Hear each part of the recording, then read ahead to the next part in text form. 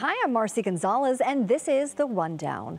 Two teenagers overdosed on drugs at Bernstein High School in Hollywood. Investigators say one of them died. Police say they may have gotten the drugs from someone at Lexington Park nearby, where two others had become sick after taking Percocets.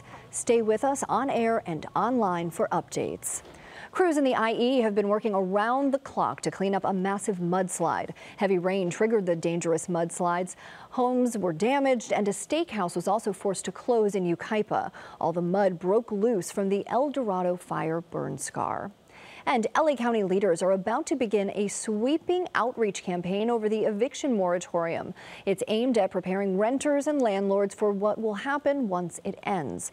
The tenant protections were put in place during the pandemic. They're set to expire at the end of the year. And now here's meteorologist Amber Lee with a check of your forecast. All right, so we are slowly drying out from what used to be Tropical Storm Kay that brought us some rain and also that humidity.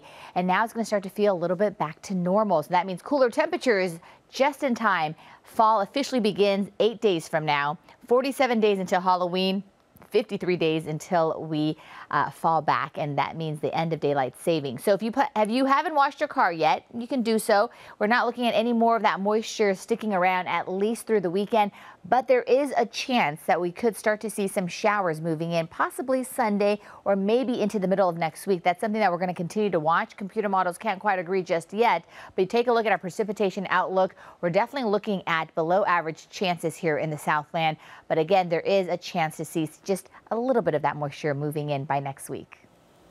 All right, and remember, we are always streaming on CBS News Los Angeles. You can watch anytime on our free CBS News app and Pluto TV. I'm Marcy Gonzalez.